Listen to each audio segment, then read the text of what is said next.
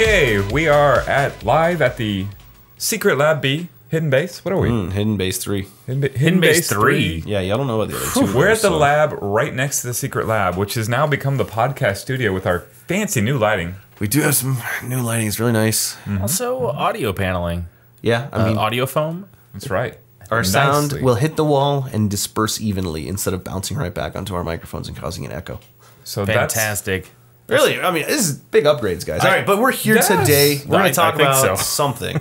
Uh, let's play. We just did that whole huge, awesome convention. It's a convention, right? Expo. Expo. Let's play gaming. It's it's expo. So it's an expo. All right. expo. What's- is an expo a convention though? I have no Uh, idea. Wow, guys, we're getting into some deep stuff already, and I think we, we need to dial it back. Right. And talk, bad. talk about all right. So let's play. Uh, we did a live podcast there where we talked about hey. Fir- First, I want to say I'm Chris Delp, community liaison. all right, I want let's to do introduce the introductions. CEO. That's CEO. me. I'm Corey Hyden. Yeah. Been here before. Other community liaison, Arthur Williams. Let's go back to Corey Hayden, though. I hear he's the E CEO. I am still the E CEO. Since last time. Right.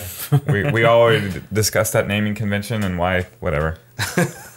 Go check our Let's Play Gaming Expo podcast one. so, yeah, we're here to talk about a ridiculous, ridiculous weekend. The Let's Play Gaming Expo happened last weekend at uh, Irving Convention Center. Um, Well, we- let's let's give a quick shout to the videos we recorded when we were there because Mm-hmm. the arcade was amazing. Like the walkthrough, I was watching the walkthrough earlier today that we did, and it's just like wow, there's so many great arcade games that show up at this expo that like everyone should go just for that. I mean, there's lots of other cool stuff, but that alone is good enough to justify the ticket price. And the tickets Um, are really inexpensive. So next year, if you're looking for something to do in late summer to beat the heat, No, it's it's really awesome. Um, and They probably had 25 different things there that I could have happily spent my entire weekend doing. Right. Yeah. I mean, they had a QuakeCon 1 like throwback LAN center. You could literally sit there and play Duke Nukem 3D on LAN together, like P450s or something. correct, in a incredible. darkly lit room with like 90s stuff on the walls. They straight up recreated QuakeCon 1. I don't know if anyone actually went in that room, but I did, and it was awesome. I did, and it was really cool. Like, I didn't stick around too long because, like you said, there was a bunch of stuff to see. uh, I, have to, I have to look to see if I was at QuakeCon one. Uh, there was a. It was in '96, right? No, I I, was I not wasn't there there. in '96. I went '98. Uh, was my first one. There's a role playing board game area. So like everybody had Renaissance Festival gear on, and there were like taverny. There's a tavern motif to it all, like an old, old, you know. I went to '97. Sorry. Nice. You, you made it to, to the first No, one. no, no, no. The that was second one. '96 was the first one. Okay. '97 because that was the first time I met Dan Ricks Hammonds, the guy who eventually won it. Okay. Um, and I it was really funny because you know he was winning like two thousand, five thousand dollars, but I was like, this guy's a professional athlete and I love him. Uh-huh. I'm gonna be like him when I grow up. It was really neat. Did you guys um, get any Qu- uh, Duke Nukem 3D in? No, I mean Quake Two is still the game. I mean Quake Two. I mean there was Quake with netcode, but Quake Two was the big game for a long time. Right. Um, and, and did well until Quake Three came out, and then Quake Three was the game forever. Yes. I mean Quake Three crushed um, in terms of multiplayer LAN action. So um, yeah, no, I was. Uh, uh, but I was a I was a top ranked Quake Two player for a minute, and so it was, it was really fun to go That's to that. cool. Um, all right, so anyways, recreating and Yeah, yeah, Let's they Play, had, all they that had that. Lots of great stuff. Uh, like you said, a ridiculously large uh, arcade uh, provided by ourselves and also Rogue Synapse, who is the doc.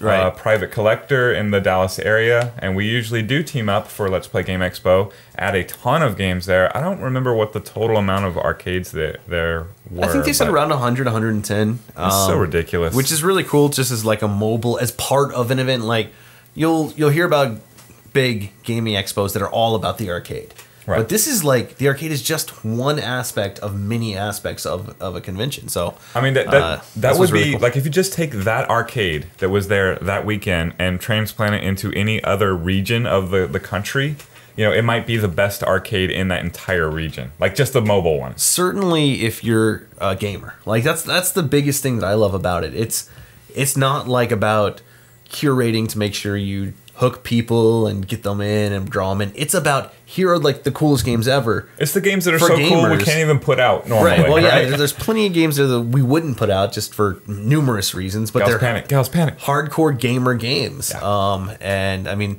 almost all the Estel stuff, especially the early 80s stuff, is like that, where as an arcade nerd, I walk through and I'm like, wow, I just want to live here. Right. And I mean, we have most of the games, but the nice thing about Estel's collection is it's just, he brings it straight from his home where it's had like, you know, some of these games might have had 30 total plays the whole year. Um, and he just brings them, and it, it's just, it's this beautiful thing where you're playing these very, very, um, unplayed arcade games uh, from his house that are you know like his space duel was I it looked basically the exact same as it did last year whereas our space duel spent a year on the floor and we kept repairing the components but you could slowly see it kind of wearing down all of his stuff is, is pretty much mint because he, you know he's playing it but that's it that's who's playing it Right, and he's he's got 15 or 20 games he brings out every time that I have never seen outside of his collection. Like so rare. well and i mean I mean, we have some rare stuff too, but he like, made himself that's how it- it's that's true. how rare it is And- but the ones that he makes, like uh, Space Paranoids, I believe is the name of it. The uh, the game from Tron. So, it's- so it's the game that, that that Kevin Flynn has the world record on, or breaks the world record on playing at the because he magically yeah, shoots shoots one guy, one regulator, and or whatever. everyone cheers so it's i mean clearly he did something good Right. It's so good that you should like take a pic clip of that and then build your entire community group around nothing but that. Um, but he actually made a version of that game, and I would say it's just as playable as it is in the in the movie. Like it's it, like it doesn't look like it's the best game, except it looks like it's the best game. If they if it no gameplay at all, basically. And, and that's that's kind of where we're at. Was he the guy that made the uh, the Disco Diamond uh, shooter, which I can't remember was a cave shooter? It was a kid. It was um, what was that?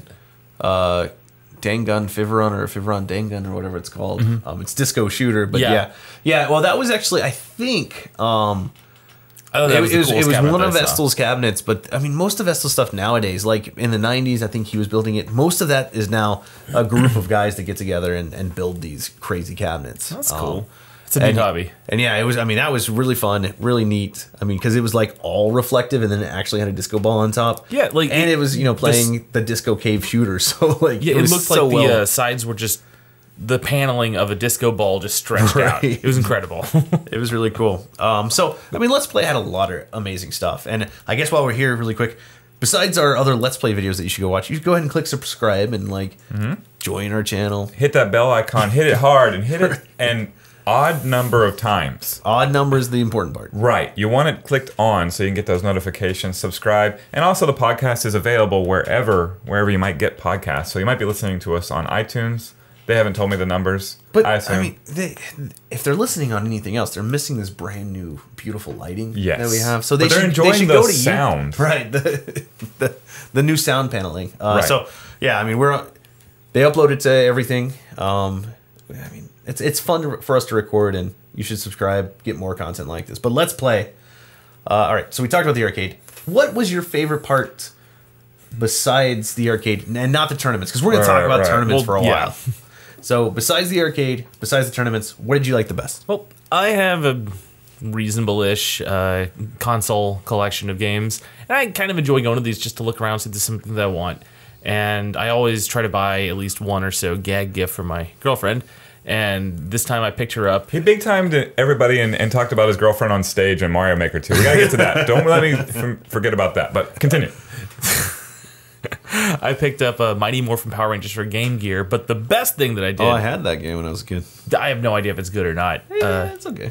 all right, but so when I was a kid, I had a copy of Final Fantasy III on Super Nintendo that I got right when it came out, and there were a whole bunch of glitches with Relm Sketch Command. If you haven't played the game, you have this character that can uh, make a little copy of an enemy, and it'll do an attack and then disappear. Well, you have a character in your party that can leave the party and come back. When he comes back, you get to do one action on this character. And this is the easy way to tell if you have a glitched copy. You use the uh, the clone enemy command sketch on this guy when he comes back, and it'll corrupt all the data. Uh, nice. I lent my cart to someone else, and uh, you can do a lot of fun things with the glitch. But anyway, I lent my cart to someone else, and he moved away, so I lost it. And I was thinking, you know, I would like to have a game, uh, have that game with the glitch. I've got like a couple copies since then, but neither of them have the glitch. So I looked around and found a couple of dealers that had Final Fantasy 3. I'm like, hey, here's this story about this glitch. I'm looking for a copy. Do you mind if I test it? And so I tested all six copies of the game they had at the expo. None of them had that glitch. Wow. So I guess it's more rare than I thought, which. Ugh. oh well. For me, um, I, I touched on it a little bit. It was the tavern board game area, and it was so compelling that I forced myself to not go up there because you would have lost me as an employee. Everybody would have lost me for the entire weekend because I would have found, and, and that was right next to the indie games area, which is the other part that I should should highlight. Um, so they're right next to each other. There's an indie board game there. There's indie video games there, right in the middle of their development cycle, so they can see some cool new stuff. Some some just I mean, I don't want to call it homebrew. It's just like, but it is, you know, a development team of one or two, and they're putting a lot of handcrafted love into these these uh, items. And uh, man, I would just grab the nearest deck building card game that I'd never heard of, and me and Sarah would go sit in the Renaissance um, tavern themed board game area and go to town for the whole weekend. And that's that's we've done that so many times. Um, yeah, I, I loved it so much, but I think in particular the motif there, the attention to detail of making it be a comfortable and interesting area to play board games as opposed to just a large area to play board games, which it was that as well, um, was really nice and a, a, a major surprise for Let's Play Game Expo, which I think of, you know, pr- primarily video games when I think of that. Well, I think uh, the most interesting thing that I saw was the uh, the UFC girl. Oh yes, we definitely took a picture of that. Uh, no, that was weird. I don't know how it appeared, but no. What was really amazing is at Let's Play they went all out like on their theming. They put a ton of work into some really small stuff that you wouldn't necessarily notice, but it was like a really polished convention and expo or whatever it was. It was. um, really really cool. All right, so let's see. Uh, all right, let's get to the tournaments. We'll just talk about them. All right, so we, we sent uh, we sponsored three players to to get into the uh, the tournaments. It was uh, Chris Wilson, who's been a guest on the podcast, um, multiple time Spring Series champion. His brother Daniel Wilson, whom has streamed for us at the um, National Video Game Museum events, including the James Bond event and the first one where he streamed Mega Man, which comes back into play. Um, and Daniel, uh, sorry, Dylan Smith, whom I don't believe has ever been on the podcast. He's been featured on a Game of the Week. You can find him on the Atari Liberator Game of the Week, Atari Force Liberator. Is that what it is? Yeah. Okay, so And he that's he's the player there. He wins almost all of our puzzle night tournaments, which Correct. we'll come Right. back to in a little bit. Dylan, of course, we've talked about him before. He's really good at picking up new games really fast and, and getting like really good at them in a, in a very short period of time. Yeah. Whereas Chris Wilson and Daniel Wilson are kind of like they've been playing games forever. They have their own Twitch, multi-tab Mugen, I believe. yes, Um, yes. And I mean, Might be Mugen multi-tap. I can't is that- remember. I don't know. I don't know. um, but I mean, so like both the Wilson brothers, they play a ton of games. Dylan Smith also plays a ton of games, but he's also really, really good at new stuff, um, which I always thought was really cool. Um, all right, so we invited them to play with their free play shirts on, Right, uh, me- during the weekend. me and Arthur were there, and, and really buoyed by that, like the entire Team Free Play crowd that was in the city at the time pretty much descended upon uh, Let's Play Game Expo. So whether it was a member of the, that squad of five or the extended cast, like everybody there, it seemed was was a member of our our group of uh, gaming nuts. And and it feels like with with Spring Series. Um, with our series of gaming tournaments on multiple games, and then later uh, our actual arcade championships, it's, which is a multi-game format as well. We've created this type of player that is perfect for this type of tournament or structure of tournament where you just play this game, that game, every game. Right, we've kind of been training a, a small team uh, inadvertently, Inadvertently. but but definitely they have they've had to play a lot of cool games, and we've been you know the ones pushing that. So um, we bring the three players. We have y'all there, um, and yeah, we have a bunch of other free play people showing up. Lots of cool free play shirts were there, and that was really neat to see. Right, like you look around and you see different people in free play shirts across the like tournament floor, the, Yes. the vendor floor. Really, really cool. Um, all right, so what events were they hosting? What were the tourna- main tournaments at Let's Play this year? All of them. Let's see. We had uh, the trophied ones were Mario Maker, which we should get back to. Tetris, which was a qualifier, the NES Tetris. Right.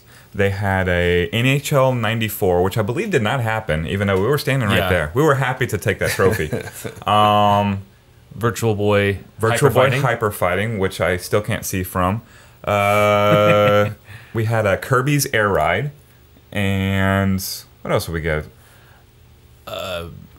The Wizard Tournament. The Wizard Tournament. the big Wizard Well, tournament. that's we the big one. had a, had one where you could win your own arcade cabinet, Right, which they right. do Bust a move. a annually. Neo It was a- Geo challenge. It was a Neo Geo Bust a Move 2 one slot. I think that's most of them, if not all of them.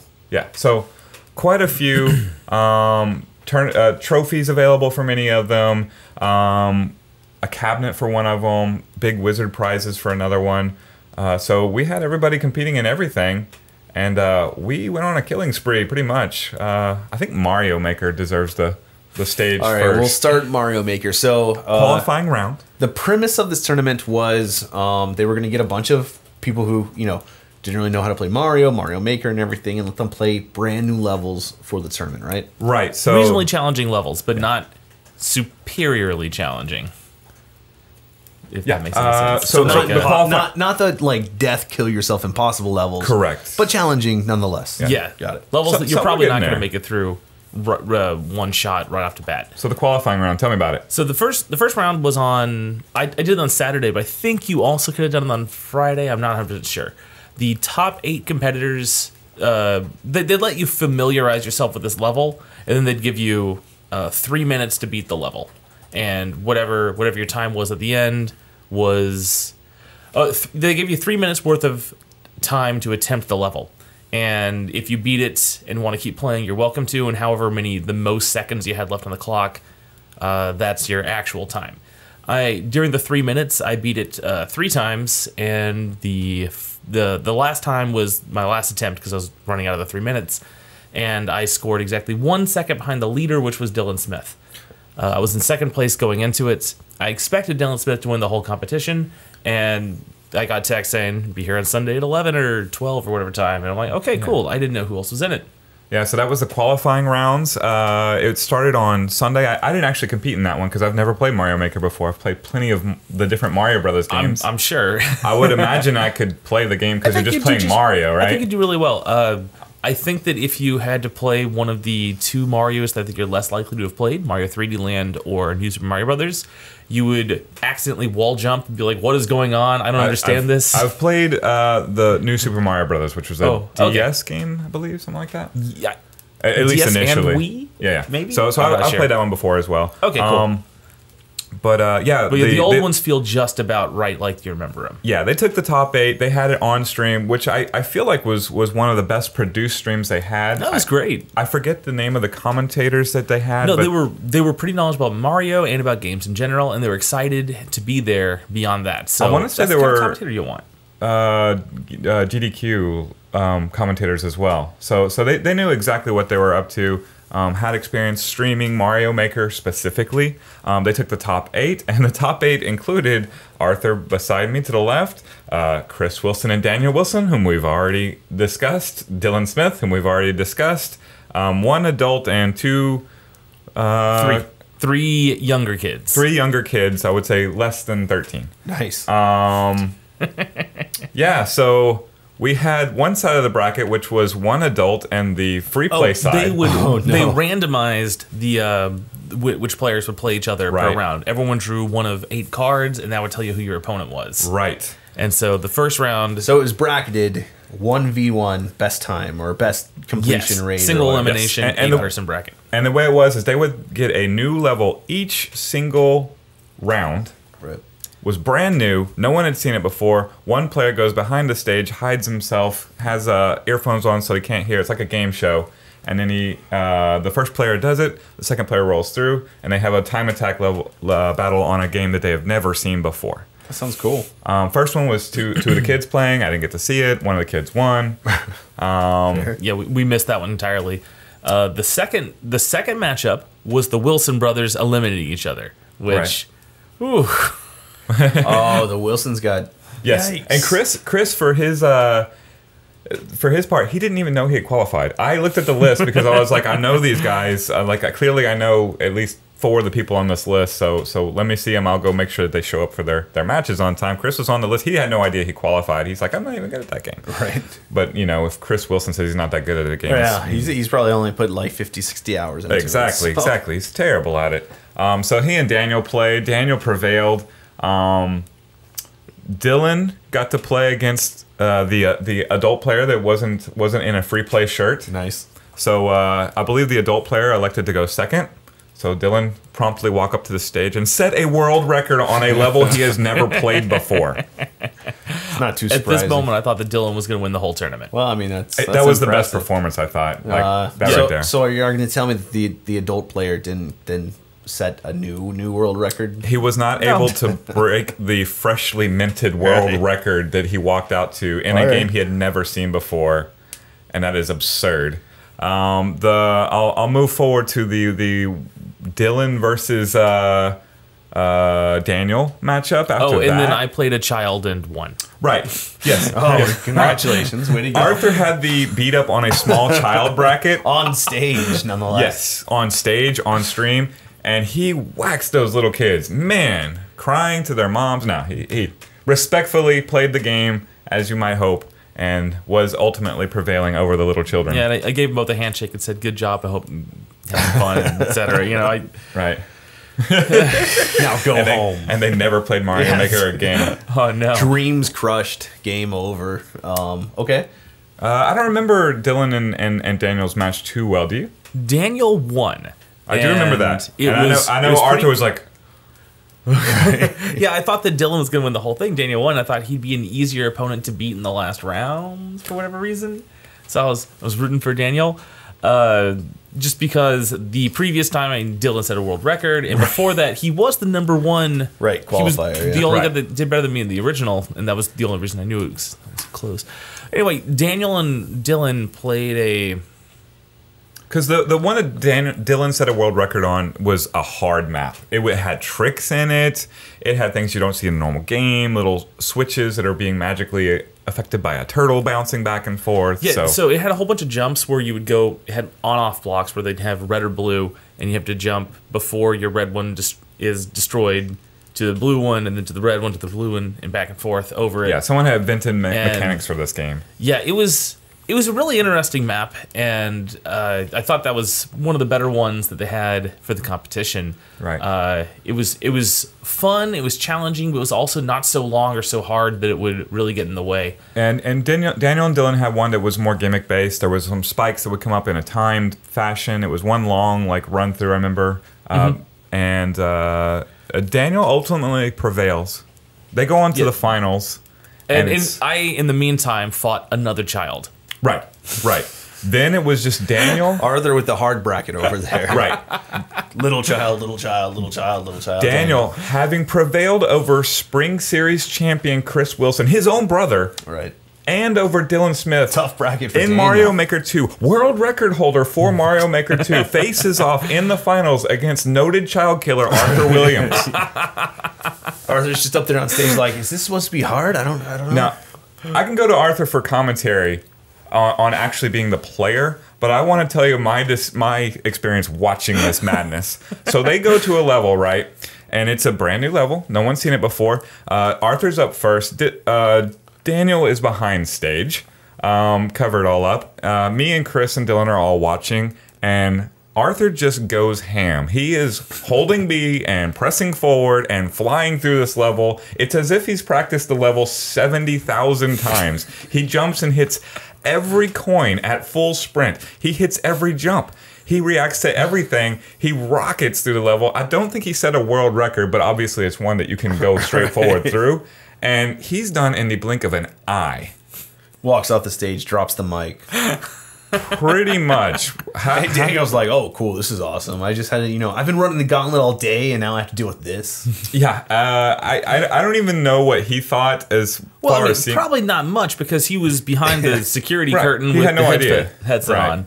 He did not They get. put like a black hood on you when you're behind. Is that- Yeah. yeah, there's no way he actually equaled that. He did his best. He he got a good time, as you expect someone would. But he didn't. He didn't know the trick of like go full blast Right. and and just murder everything. no everything. fear, just go yeah, for yeah. it. But uh, Arthur, what What was your strategy? How did you get to do that? Well, I was thinking beforehand that I was just going to take a gamble and assume that I could get through this whole level. It was a Mario 3 style level, and that's a game that I've played a few iterations of over the years.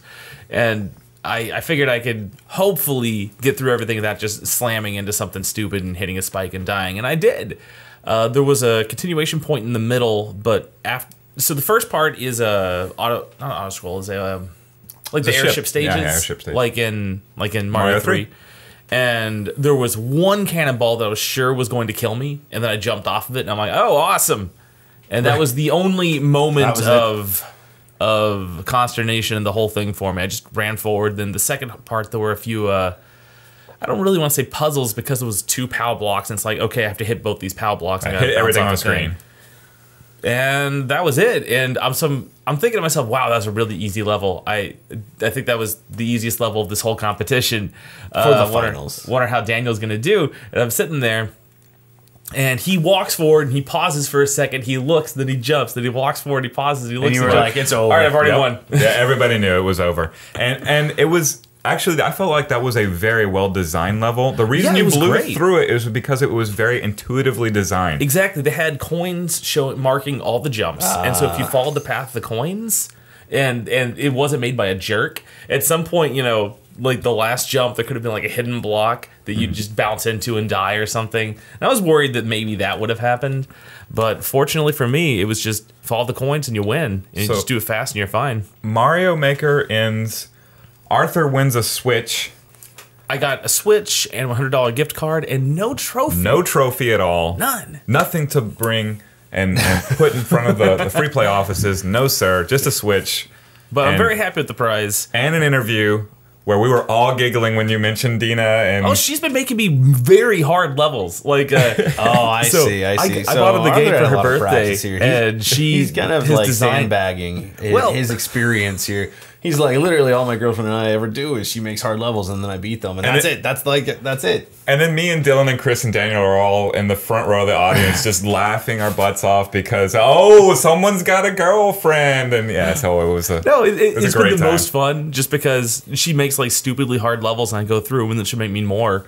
And uh, I've seen a lot of stuff playing the game. And Yeah. the, the last level, one of the indications that wasn't going to be a particularly hard level was that I want to say 20% of the people that had played the level had passed it, that had played it thus far. And that's a pretty high percentage. And that's kind of why I was willing to gamble on just running straight through it. If it had been far lower, than I wouldn't have. The, that's a, that's a meta I never would have considered. yeah, the second stage that I did against one of the little kids was a uh, a level that had 0.1% passage. And so for that one, I'm like, okay, I'm going to take this slow and cautious and do everything I can. You had to have Yoshi at the end. Then you just watch the kid fall, fall. and, and you were like ha ha ha ha. It was actually a water level, so you had to go down, get Yoshi to come out. And I, I took a hit from this giant Wriggler that was flying all over the place that you couldn't do anything about. And so I went down to get Yoshi, and I accidentally found a star, which made it to where I could just effortlessly do the second half of the level rather than have to dodge anything on the way out. I don't think that I would have died or anything, and I'm sure that I still would have won, but that that completely defeated the purpose of that level because it's in a hidden box. And uh, the guy if- running the tournament said if he'd known that there was a star down there, he would have picked a different level. Well, I guess that's the thing. You were set up for the most embarrassing possible losses. So, I mean, Fortunate for me, it didn't all, happen. all You only got the most embarrassing like, possible like, 'cause, wins. Like this whole podcast would just be making fun of you for losing to a kid um, Uh-huh. if you had lost. Sadly, so- it was a single limb tournament, so I could only lose to one kid instead of all three. there you go. there you go. So where does the Switch sit now? It is in my room, He's like, it's still in my car. I haven't gone home. Very I, very warm in the sun. I haven't purchased anything for it yet. I also got a hundred dollar gift card for GameStop. I'm gonna use it on a uh, a pro Side- controller side stick. and yeah, yeah. use, use it fast. We, we have whole podcasts about this whole Yeah. thing. oh well. No, no. I mean, GameStop. GameStop was a sponsor of. Let's Play, and um, yeah, Yeah. GameStop is local company here, so local You may have video heard of game it. thing. You may have heard of it. Yeah, but they're- have We- a few locations still. We saved it the other day. Oh, true. Yeah. all right. So But that was that Mario was Maker, the First, fun second, third, tournament. fourth, we're all free play. all free play. Kirby's Air Ride.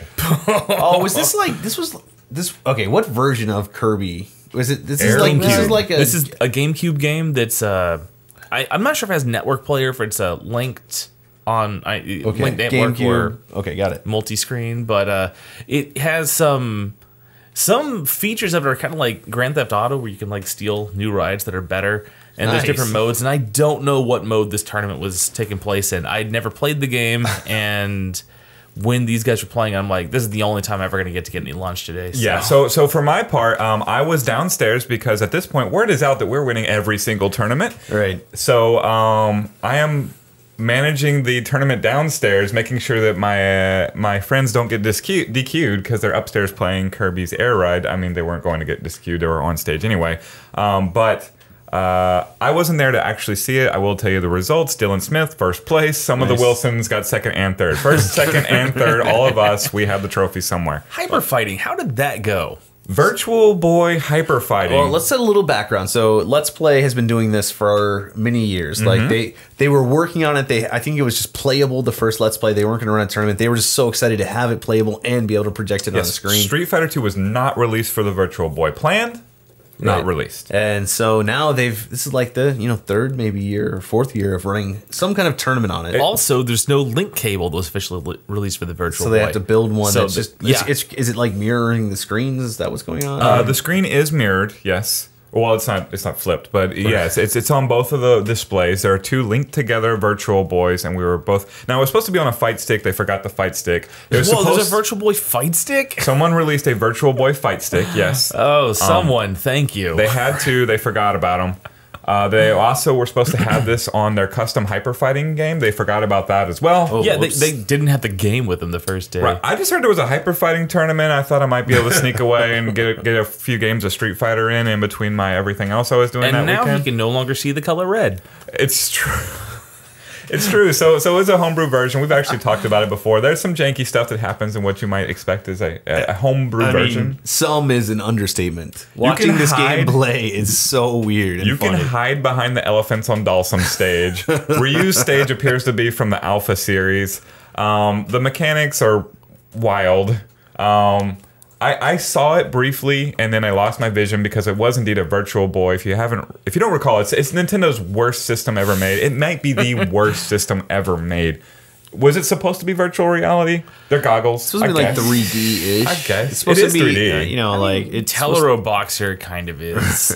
Yeah, you you stare into this goggle that will permanently remove your vision. It's just red lights staring directly at you. Um, the final ended up being me and Dylan Smith, nice. and we were playing Blanka, which was red on a black background, and he was playing Blanka, which was red on a black background. So we had the awkward first round where I guess I won, and I was just like, oh. Which one was I? And Dylan, Dylan's like, "You won, you won." Okay. um, you know, we've played we've played Street Fighter 2 a time or two at free play, so everybody sort of knew what they were doing if it was normal Right, Street Fighter yeah. 2, but they forgot their sticks, so we're we there's two D-pads on either side. yeah, the Virtual Boy controller wasn't the most intuitive either. Right. So if you press left or up on the right D-pad, you get punches, and if you press down or right, you get kicks on the D-pad. It was somewhat counterintuitive, and nobody else saw this in the world. So I will tell you, Dylan Smith.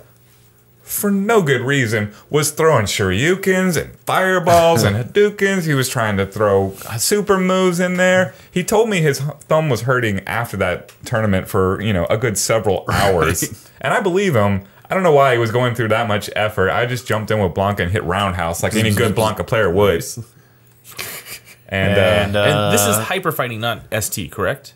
Uh, it's it's it's hyper fighting ish. It's hyper fighting ish. This is right. Street Fighter, street, some kind of it's- speed. It's clearly some Street Fighter 2 inspired game. It looks very much like Street Fighter 2. Like it is Street Fighter Right, 2. right, right, right. It's it's as much Street Fighter 2 as Rainbow Edition is Street Fighter 2. I would All say. right, sounds good. So yeah, that was the thing. Uh, I literally lost my vision for 45 minutes. Like I was not kidding when I'm I- I'm literally like holding Arthur's shoulder after that tournament. Like please lead me around and tell me if you see my friend because I've lost her and I can't see. So, but I, I won. I won. Dylan got second. Ray got third. Team Free Play is first, second, and third again, and I get to mention Ray Upshaw on a podcast, which nice. Ray. Um, makes everybody happy. Did some neat stuff at this event. He decided he was going to beat Dylan's high score on the puzzle bobble. The the Winner wins a cabinet, the cabinet of Puzzle Bobble. yeah, this Neo Geo. And after Dylan sets this high score of almost six million after his like third play, he's like, ah, that's good enough, and he left. The uh, the the previous high score, not On counting Friday. my own, was fifty thousand. He had six million. Yeah, that's pretty Ray good. decides he's gonna spend this weekend trying to beat He this high wants that cabinet. All Yes, day sir. Saturday, all day Sunday. He must have spent 18 hours there. And, If you know Ray, you know it's true. and he's just yelling at the cabinet the whole time. and and he keeps getting close. And for a while, I'm like being his like, I don't know, his his sidekick. I'm telling him, I'm telling him, you had to knock like, down at least almost got it, 17 man." uh, attached bear, uh, uh, bubbles to get to get the million 1.3 million bonus points. And so I would tell him 14, 15, 16, 17, break it. And then I would tell him, all right, just destroy the re- less level, less rest of the level, finish the level, finish the level, finish the level, and then he would lose time to time. And I'm like, Ray, here's what you're not doing. You're trying to get 2.6 million points rather than finishing the game once you're already like halfway to the, the high score. Just keep going. And uh, at one point, Ray's like, I can't wait to win this cabinet because then I'm going to sell it. And I'm like, You're not even going to keep the cabinet? he's like, No. And I'm like, Hey, Dylan, what are you going to do? He's like, Oh, I'm going to put it in my apartment. I got I got a nice spot for him. I'm like, All right, I'm on Team Dylan now. So I know Dylan. Dylan took it down. Dylan was Dylan was prepared to put another thirteen million on there if if, if, If it came that, to it. that thing ever got endangered. This this back and forth. Well, it's really just Ray trying. Goes all the way till 6 p.m. The actual close of the festival Sunday? On Sunday. Um, our friend Darren is the guy who manages the arcades throughout the entirety of Let's Play Game Expo. He's on the board, and I had to go to him and be like, "Could you please end this tournament?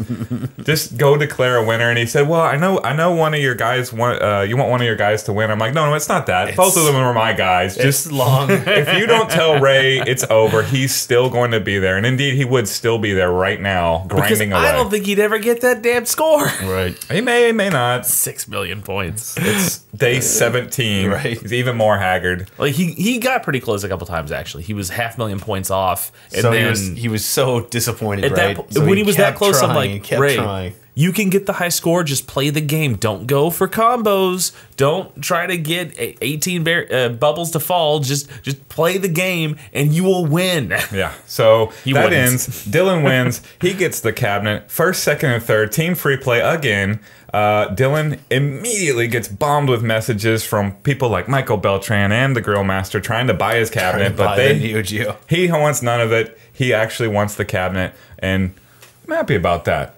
Right. That's Likewise, a, that's I- a good I'm result. Way more happy if someone wants to keep the prize than sell it. Yeah. Um, then we had. I guess we got to go to the main event, right? The Wizard tournament. That Let's was the big one. We skipped NHL because that didn't happen. NHL Oh. actually didn't happen. We were all sitting there waiting, but but when when they're just looking at just the three of us wanting to take another trophy, they're were like, like, you know what? "Please, Team Just- Free Play, just- I mean, we could mail it to you. Chill out. uh, then there was Tetris, which was kind Tetris, of a Tetris. I didn't hear about, and if I had, I would have entered. Yeah. I really liked that It version was of a, Tetris. it was a little bit more separated than the rest because Yes. it was like a qualifier for an upcoming event. I, that so. would Right. I would have liked to have participated if I'd known about it. And I, I'm not saying that would have qualified or anything. I can say that somebody maxed out the score. Yeah. Nine nine nine nine nine nine nine. I would not have gotten that score. Yeah. Then nor, nor would I. It's NES Tetris. It's the classic one. So yeah, that's Whoa. a qualifier for the World Championships that they do every year at Let's Play Game The Expo. classic one, huh? Yeah, I believe winner winner I'm gonna have to wins. go talk to Atari about their Tetris. well, I guess there's a lot of classic ones. There's two. Uh, yeah. I, I, I think of the the PC one back in the day with the custom background. so there's, a- there's a I lot remember of that. That was a Tetris. Yeah. Um, there's the original original one with the ASCII graphics. I've But- seen that. I mean, it's pretty cool. Atari and the actual Nintendo version were pretty side by side, primarily because Tengen released, you know, the, Yeah. the Atari Yeah. version. So it be, then became really. I like the Tengen version. I, I, It's it's fun. It's got two players, but I think that the Nintendo version is honestly the better game. How because it- dare you, sir? Because it doesn't have trash. I know what I said. I think the, the Nintendo version is kind of boring uh, from like a, a normal game player standpoint, and the Tengen version has a lot. But I can see why, from a competitive standpoint, you might prefer the Nintendo one. But like, if you're just gonna pick one to like have at a party, never. Never Well, picked the, the Nintendo one. Yeah, Yeah, if you only have one, you got a one-player Tetris that you know is a game that's going to take you 45 minutes to play, or you have a two-player game that you can actually have some fun with with Yep. a couple people. Or you can go to free play and play Atari Tetris on a cocktail, or That's Atari true. Tetris on a stand up, or Tetris Grandmaster on the Big Blue. Yeah. So good times. New art on that one too. Oh yeah, I Oh, like cool. It. I saw it Great. It today. looked It's, really it's nice. It's nice. Um, yeah, so Tetris happened. The Wizard tournament was the main tournament. That was a multi-game tournament. Uh, we discussed it briefly on the podcast uh, la- last week. Yeah, so the the premise here is they're gonna bring a bu- I mean, kind of like the original Wizard uh, video Armageddon tournament from the movie The Wizard, um, where you're gonna have to show a mastery at a bunch of games to, to advance, to move on, and to eventually, you know, maybe play on the big stage. That's the concept. Uh, as I mentioned in the last podcast, like it, it's hard to balance a tournament like that, especially if you have never done a tournament like that before. So just kind of at the onset, I, I've been in many of these tournaments. I've run some myself. I knew what to expect. It was it was it was lovingly handcrafted. It was Right, that. yeah. It was earnestly made. I've seen I've been a part of some of these tournaments that are not such. Um, so it was a good tournament, but like balance, I don't think it was ever going to happen. Well, one of the things I think we found out, and that anyone who's tried to run these types of tournaments is the more cool you make it, the smaller your audience ultimately is going to be. Hmm. Like, um, if you just put slapped Tetris on a tournament, you get like a big group of players who are like, "Oh, Tetris." Right. But if you're like, you're gonna play up to ten random games Right. from the classics, and we're Well, and, get- and they gave us the list right too. and, and so. we'll tell you which games but you know there's gonna be obscure stuff you might not have ever like and you're like wow this is really gonna try to like test the top gamer Right. all every time we plan something like that we're like yes this is gonna be awesome but then no one shows up no one care cares that much about it because it's so diverse And, and to their credit, they got over 200 people to enter this tournament. Right. yeah. So there was there was a nice turnout. Like, n- not everyone made it to the final rounds, obviously, but a whole lot of people entered. And they, yeah they went and played their three rounds is that what qualifying was you put three Four? score four Yeah, four, scores four. four scores um The first round was RC Pro Am. was it Contra? No, that was second round. I'm, I'm coming with a whole bunch of games. wasn't the there second like a game boy game that you played on Yes, Yes, Kirby's Kirby. Adventure. Yeah. Yeah. Oh, oh, Pocky and Rocky. yeah Right. Yeah. Which I had never I never played Kirby or Pocky and Rocky before that. I'm kind of surprised you never played Kirby. It was a pretty prevalent game. But I my, be my family couldn't wrong. afford the Game Boy. It, it happens. yeah. Uh, the fourth game I can't remember either. It was a fourth game. So No, uh, we've already said RC so right. RC Prime was not the It was game. like a major F Zero. It was like F Zero. No, No, that was the second round. it was Yeah. a big game too. A popular, Yeah, that sounds right. game. That sounds sounds very right. So there were four games, five minutes each. Um, cumulative score on each, which was the issue with the balance. So which one? Which game became The, the only overpowered? game, the only game that mattered was man, I can't remember. Do you remember? Uh, the f- It might have been it might have been Kirby. was Final Fight the Uh, first Fi- one. yes, Final Fight was on there. Okay. Final Fight was not the game that mattered because But everybody had the, same score. The game that mattered was Kirby's. The game that mattered was Kirby. If you knew how to play it, which was uh, thank you to Daniel for finding this strategy for us and sharing it with the class, was Yeah. uh, basically to get to the second level, and there was a curry that spawned, and you just farm it. blew it up, and Yeah. then you Yeah, and you you're just out of go- curry, and go and kill you- yourself. and no, you went back to the door. The the curry was in the door. no, and no, you no, the curry doesn't respawn. Oh, it doesn't? Yeah. Okay. So so you just keep you keep bringing yourself back on. You farm it until you're out of curry. You go kill yourself. You grab some more curry because now it's respawned, and then you repeat into infinity. Uh, so yeah, that, that was the the difference maker. If you knew knew how to do that, then everybody's advanced into the next round. And honestly, the top 50 went on, so everybody who kind of knew how to play Final Fight or kind of knew how to Pocky Rocky, play Pocky Rocky moved on. I found a spot in Pocky and Rocky that got me the top score in that one. Yeah, no one no one knew, no one knows how to re- recreate what you did. No, it was weird. So congrats to Pocky and Rocky champion Arthur Williams. That's a game that I have Finally- played. Finally, something you can be proud of. You beat up little children at Mario Maker, and Yeah. sure you got a Switch, but Pocky and Rocky World Champion right here. Uh, the second round was was that F Zero and Contra. Yeah, it, it was 50, and they top 50, and then they, they did, uh, yeah, it was F Zero Contra. I want to say they did a third game as well, not Hogan's Alley. I think. Okay, so after that, Double the th- Dragon. The third No? round was Double I don't know. Dragon Mario World, Tetris, Tetris, There we go. Tetris, F Zero, and Contra. and Contra. So um, the game that F-Zero mattered. did not matter at all. Right. Uh, at all. Dylan Smith put a world class score up, as he is one to do. because there's in the five minute time period, you're going to get this many laps, or I guess game over. But it's like a difficulty check of can you play F Zero at all? Because you're playing was it, on yeah. the easiest difficulty level on the easiest maps, where it's just go in a circle twice and Did- then So Yeah, everyone did you the same thing there. Right. Yeah. Dylan Smith was looking for the world record. He got 9,000 points and put up a world class score. Got- I was intentionally driving off the course, ga- giggling and drinking my uh, drink at the same time and got 5,000 points. So no harm, no foul there. Really didn't matter. And meanwhile, uh, the the since they're just adding the points together, the Contra score was in the sixty thousands rather than you know somewhere in five to ten range, Mm-hmm. and Tetris was again about fifty. But the variance was huge. Yeah. RNG on Game Boy Tetris is quite large.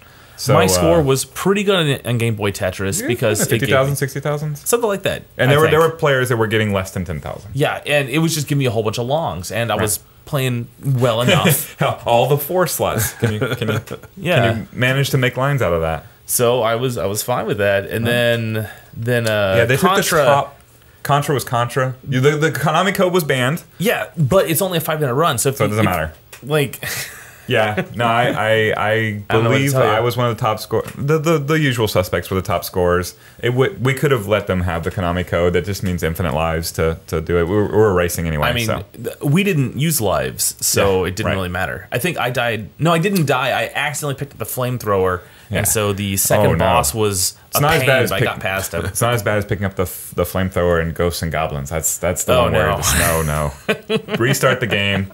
Let's Might forfeit well. this forfeit this quarter. Uh, they took the top twenty four there into the next round where it was Mario World and Double Dragon. or Mario World and Irrelevant because the top score possible, like the joke in the, or the joke, the famous line from the wizard is You got, got fifty thousand Double Dragon. How'd you do it? well he did. Uh, everybody in the tournament was doing it in less than five minutes. Yeah, I got sixty-ish thousand. I think I was the number one in Double Dragon, and all you do is you headbutt people. Right. That's it. That's Just it. press forward twice. That's it. You Nice. can't replace those points with anything else. That's the top score possible. Super Mario World. Um, how much have you played Super Mario World much, Corey? Uh, sure. Yeah. Yeah. The first level, you you you're in Yoshi's house. You skip that Technically, one. the second level. The second uh, level. There's Yoshi's Island one and Yoshi's Island two. If you go to the right, then you go to Yoshi's Island two. Yeah, you jump on the red Koopa. It teaches you to grab the red Koopa and throw it into this whole line of red Koopas, and it goes 200, 400, 800, blah, blah, blah, one up. Thousand, two thousand, four thousand, eight Oh thousand. no, I see. Yeah, Yeah, so- yeah, you see where we're going. You You, can beat- hit start and select. and, and start the level over again. You have to beat the level once to do that, and that's like a legit speedrunish level. Mm-hmm. And then after that, it's just, hey, how fast can you get the points in this level? Yes. So yeah, it was five straight minutes of grab the turtle, throw the turtle into more turtles, hit start, select, repeat, over and over and over again. Um, we all knew that this was the strategy. Except for Ray. In well, except for Ray. Ray did not. Uh, you need you want to go last in this style Right. Yeah, we all wanted to do Mario World last so that we wouldn't give it away. We all tried to. Um, so somebody else on, in the venue was aware, at least in some level of at some level of how to do this. Yeah, the guy sitting next to us was actually a speedrunner. Uh, Right. So Well- he, he Well, there's a, the a person in Ray's round as well. Oh, there was? Because Ray came one. to me. He's like, "I've got a strategy for you," and we were like, Is it "We kind of know." shoot the turtle? we didn't even bother. We, we just knew. Yeah. Um, Yeah. So so myself, Arthur, the whole team, we were there. We were in the last run. We just blew it up. Um, that was that was the imbalance that we were worried about. Um, if you knew that strategy, it was more important than any other thing in the entire tournament. So uh, everybody had to kind of try. It never went to head to head, which we were anticipating. At which point I would have been able to lose, and uh, so it was it was everybody had to try. Uh, Daniel Wilson went set a. Daniel Wilson was actually the one who got the, the even beat your score on Double Dragon, and Yeah. then he didn't. Do, Okay, yeah. he didn't scum Super Mario World good enough. No, Uh, me and him had the same problem where we were both trying to pause the game in between when the 8000 shell got hit and the 1 up shell got hit. Yeah. And it actually takes a little bit of time for the score to tick up on your score. Yeah. So I was 100,000 points behind everyone else. Same with Daniel. Uh, they But it announced didn't the really matter. finalists. It was yeah, it was Because yeah, it was Dylan Smith, Chris Wilson, and myself. I have frustratingly made the final. All right, all right. So, So lots of he- lots of team free play, kind of. It, once again, a sweep. We already know it's going to be first, second, third, all team free play. I guess at that point, okay. What were the prizes for this tournament? Uh, a trip for two to Universal Studios was the grand prize, as well as a bunch of w- the Wizard swag. They had um, the Luke Edwards, the the Wizard, the Right, title yeah, character from the Wizard, um, there. Uh, they had the screenwriter, they had the producer there. So all the stuff was autographed by them. So laser discs, a very familiar looking um, uh, cassette, uh, video cassette, uh, the screener copy, some other memorabilia like that. Uh, there was m- less memorabilia, but things like the cassette for second place and um, trophies for top three places. Nice, nice. So- So, uh, so you go to the finals. You're on the big the stage. finals, yeah. Stream. They're trying to make it kind of like the Wizard at the end, where you've got like the screens, you got the players at the podium. and Yeah, stuff. there was some confusion at the venue um, on how they were, they were. The plan was to roll out the red carpet during the middle of uh, of Christian's um, video Armageddon Yellathon. And uh, they misheard him, I guess, because they just rolled out the red carpet immediately and taped it down. They were supposed to connect the RF cables, um, but they'd already done that early as well. right so so it was quite quite plain to see even unavoidable to see that our final game was not going to be the nintendo world championships but mega man 1 Yeah, I was actually Oh. kind of expecting Nintendo World Championships for this. I thought Right. everyone was like. I thought that was kind of like the. i mean we were ready I mean, I'm told that there are two copies of it at the video game museum.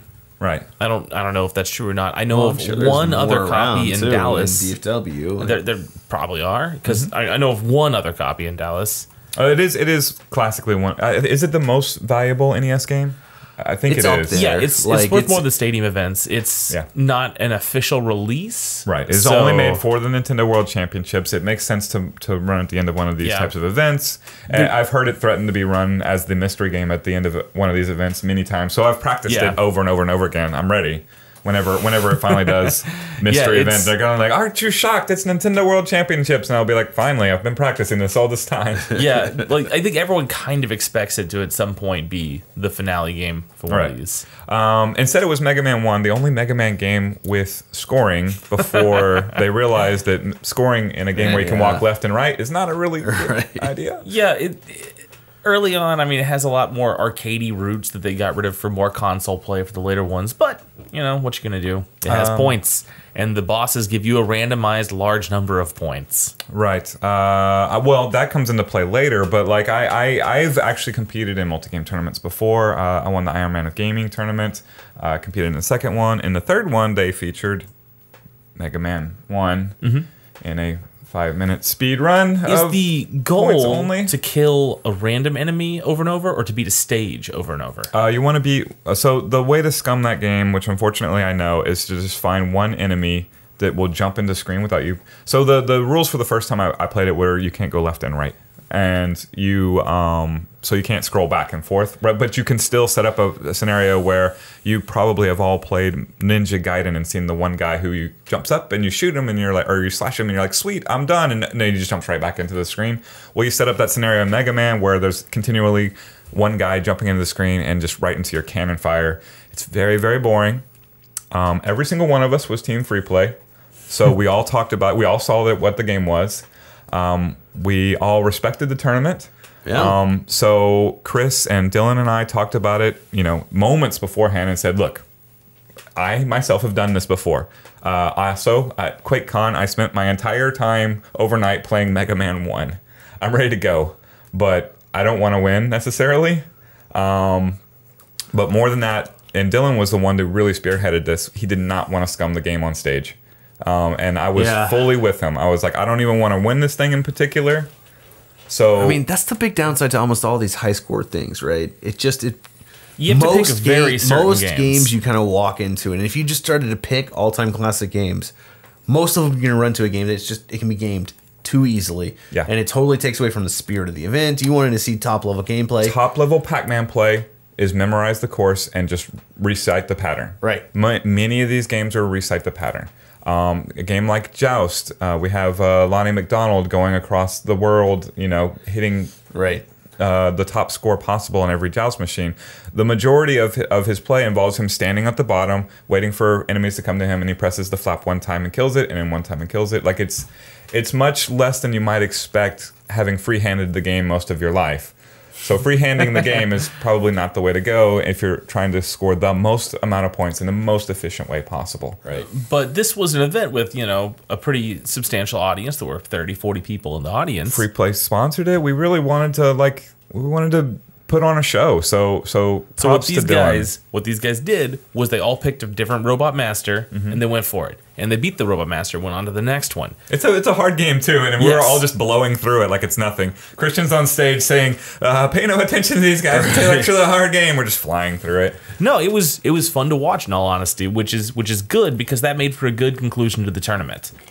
Well, and so I guess let's let's jump to it. What what happened? How did it Uh, end? so uh, Chris Wilson, not the the biggest pro at Mega Man, his brother Daniel Wilson would have murdered us all in our sleep. he didn't win. He was Tournaments sitting are next to me in the peanut gallery lamenting, And as he was, was I. like, we were not "Oh." able to participate. I These was noobs. I was playing the game at a nice ginger pace, pausing it, taking my time, hoping one of my buddies would come flying by me and win a trip to California. Uh, the RNG, it just random dice rolls how much bonus you get for blowing up a boss. 90,000 and 90,000. That's fairly good. That's I think the most you can get. for 100,000 and 100,000 would technically be the most. Okay. Yeah.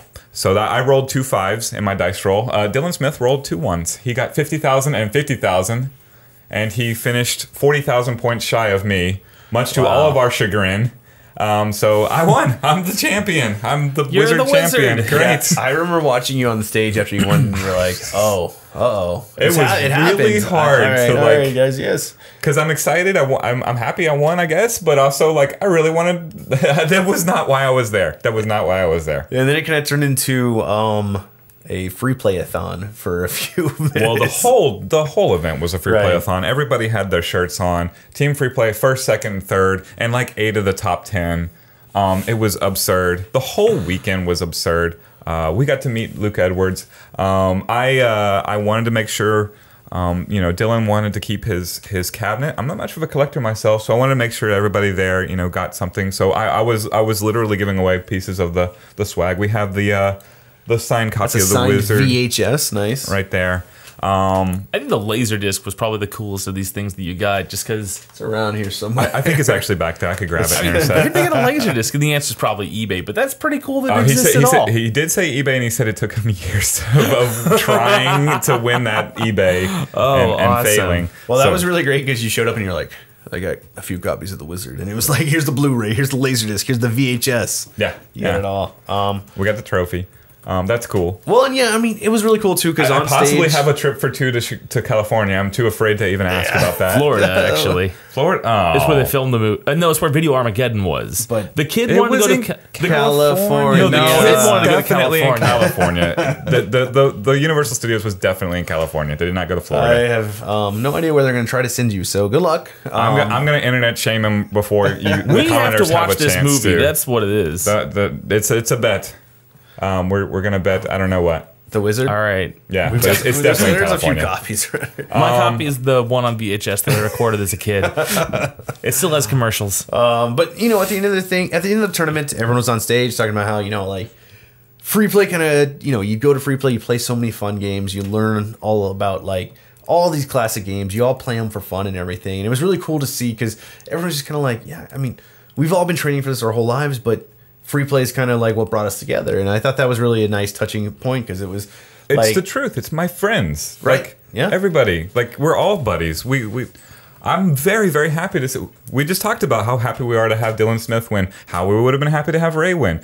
Like we all we all go we all go and play together every single day. Well, Um, not to denigrate the competition, but everyone who's been playing at free play for years has such a wide, diverse like background just from free play. Not to mention We've been before free accidentally play. training for this. Yes. Yeah, we've been doing all sorts of stuff where we pick random games and we want high scores, and that's exactly what you the kind of skills you need for a tournament like this. Yeah, and we do even ignoring that, like most of us will just go and, hey, I'm going to play Missile Command today for no reason. Right. You know? And it's it's good, it's fun. You play a few games, you try to get a better score than you got before. Then next time you're there, play something else. So yeah, I think uh, when I looked it up, it was five of seven, and they might not have actually run the NHL. So maybe five of six tournaments that were run. Uh, free play was top three. Yes. Or or better. Yes. Or yeah, that was. Uh, I mean, all of the top three. All of. So not not just they placed in the top three. Every single person in Yeah. that tournament at the end was a, a free play team free play member. I which was posted awesome. a picture of all the trophies just sort of lined up. It was a I mean, ludicrous. really good weekend for um, you know, retro gaming though. Like Yeah. it was, it was just. I mean, I think Team Free Play won for what, the reasons we were saying. They've they've been training for this forever. We run for sure. tournaments like this already, so very few people have the kind of experience that a Team Free Play can have. I've been in a competitive um, video game environment for over 20 years, and I, I can never recall that dominant of a performance across an it entire was- weekend's worth of competitions. Can you, Arthur? Uh, where everything got won. Everything, a one place in a show by one team. It was really interesting. The to watch. closest I can come up to is Absolute Battle 2. Uh, Empire Arcadia came, and Sanford and Yipes won almost everything, but not CVS 2. Yeah, I've, I've seen things like that where like California comes, like the two players from California come and wreck the whole competition. We won and placed and showed in everything. It was unbelievable. Yeah, we won literally everything, and it was a diverse range of games. In fact, I it, it, I want to I want to go ahead and give a shout out to. So we have a podcast listener who listened to one of our "Please Don't Open an Arcade" because you have no idea how hard it is podcast, and decided I'm going to open an arcade in Houston. That's called Game of Dreams. It, there's there are a couple of head-to-head uh, set up blast cities there. Right, right. He made Oh, sure that they were authentic because he listened to our podcast. He listened Yeah. to this man right here That's at this table right now. So they are authentic. They're running Super Turbo, CPS2. They usually run Third Strike because it's a little bigger there.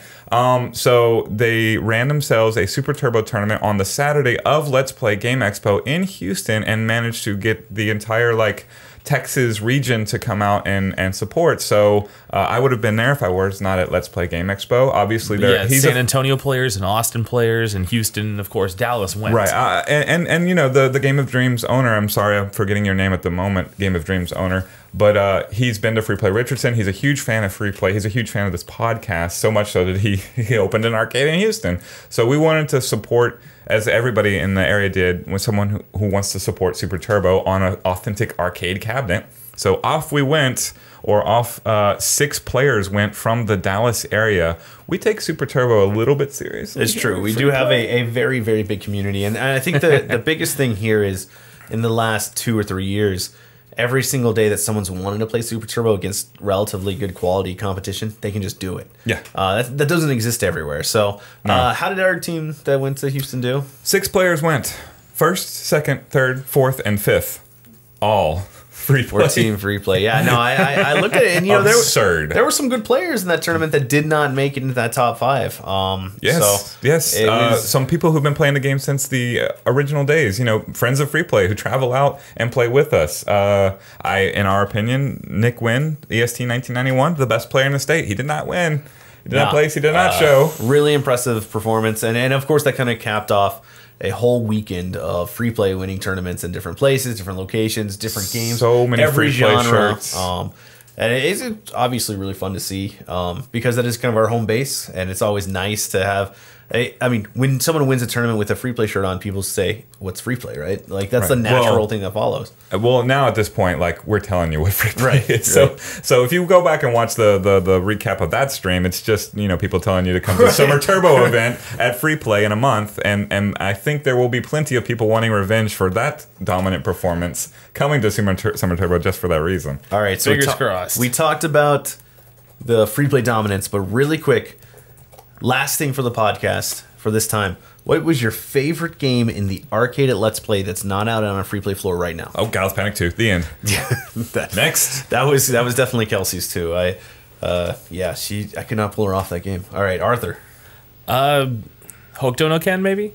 Fist of the North Star? I really like the game. It's fun. It's I love it on that big blue for like it's so Yeah, it works it's so great there. goofy and ridiculous. It, it's Um, a silly really- game. it's really and fun to it- see. The better you get at it, the more hilarious of a game it becomes. it needs the NBA on NBC theme. yes. That makes it better. That makes it better. It's got the dra- basketball infinite.